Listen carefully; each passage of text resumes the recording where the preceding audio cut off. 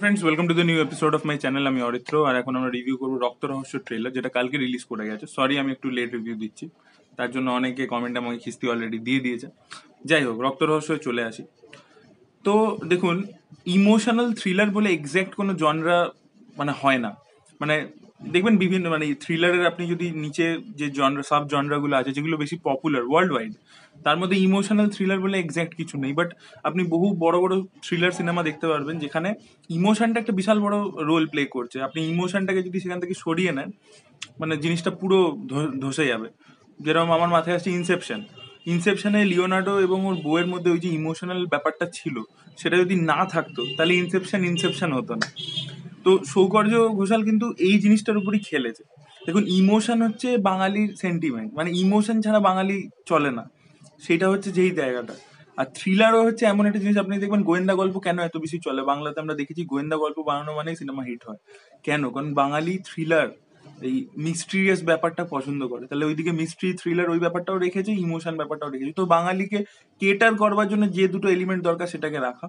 এবং দুটোকে মিক্স করে একটা এমন জনরা বানানো যেটা ঠিক এক্স্যাক্ট জনরা নয় it's a new kind of genre কারণ ইমোশনাল থ্রিলার বলে এক্স্যাক্টলি কিছু ওরকম হয় না। মানে আপনি দেখাতে পারবেন না যে একশোটা ছবি আছে যেখানে ইমোশনাল থ্রিলার বলে। সো এটা আমার খুব ভালো লেগেছে। মানে সবাই তো সাইকোলজিক্যাল থ্রিলার বানায় হাই থ্রিলার বানায় বাট এটা একটু অন্যরকম। গল্পটা যা দেখে মনে হচ্ছে ট্রেলার থেকে যে একজন আরজে স্বর্ণজা, যেটা কোয়েল প্লে করছে, এবং কোয়েলকে বেশ অন্যরকম লাগছে, এবং নিতিন মাসির পর থেকে আমি কোয়েলের ফ্যান হয়ে গেছি এখন। আগে আমার কোয়েলকে একেবারে পছন্দ ছিল না, বহু রিভিউতে আমি বলেও ছিলাম, এবং তার জন্যও গালাগালি খেয়েছি। বাট নিতিন মাসি ওয়াজ জাস্ট কি ক্যাশ এবং এটাতেও আমার সিরিয়াসলি দারুণ প্রমিসিং লাগছে, এবং মানে আমরা এই, আমি দেখবেন বিভিন্ন ভিডিওতে বলি দেব টু পয়েন্ট ও জিৎ ট্রাই করছে, এ ট্রাই করছে, আমরা কিন্তু হিরোইনদের কথা ভুলে যাই। মানে রিয়েলি আমরা লাস্ট ইয়ারে কোয়েল মল্লিক, শুভশ্রী গাঙ্গুলি, যারা একদম মেন স্ট্রিম হিরোইন ছিল, যারা কিন্তু সেখান থেকে সরে এসে করছে আমার শুভশ্রীর পরিণীতার একটা সেকশন ভালো লাগেনি আর একটা সেকশন ভালো লেগেছিল।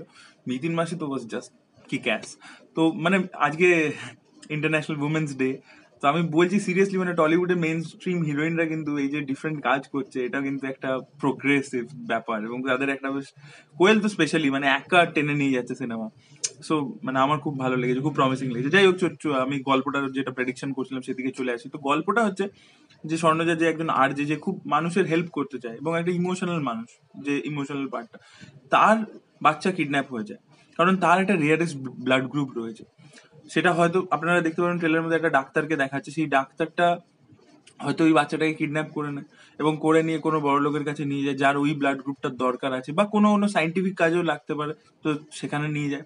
স্বর্ণজা ভেঙে পড়ে। দেখবেন তাই জন্য কোয়েলের দুটো লুক আপনি দেখতে পারেন ট্রেলার যদি ভালো করে লক্ষ্য করেন। একটা চশমা পরে একটু ডিভাস্টেটেড আরেকটা হচ্ছে প্রথম দিকে খুব এনার্জেটিক খুব চার্মিং তো তারপরে হয়তো স্বর্ণজা কয়েক বছর কেটে যায় বা হয়তো কয়েক মাস কেটে যায় এরকম একটা কিছু হওয়ার পরে তারপরে হয়তো স্বর্ণজা আবার ক্লু পায় যে তার বাচ্চা বেঁচে আছে এবং সে তারপরে কি কি করবে এবং কিভাবেই তার বাচ্চাকে ফিরে পাবে হয়তো সেটা নিয়ে গল্পটা হতে পারে। এটা আমার প্রেডিকশন আমি বলছি না যে এটাই গল্প। এটা আমার প্রেডিকশন আমি যে ট্রেলার দেখে যেটা ডিকোড করেছি।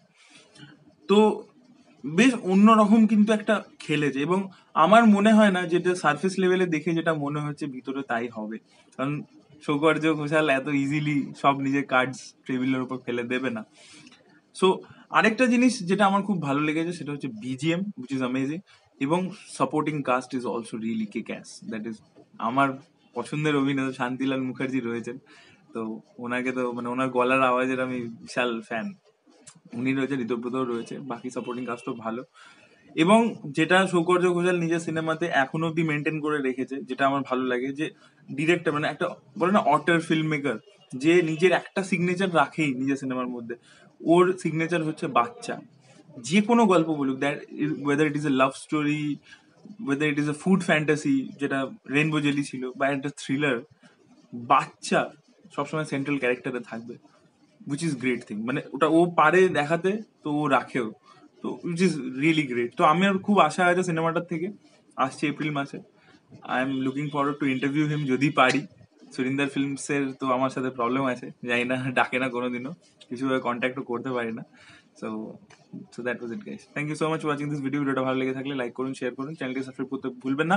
এবং আপনাদের কি মনে হয়েছে ট্রেলারটা দেখে সেটা কমেন্ট করে ডেফিনেটলি জানান বাই বাই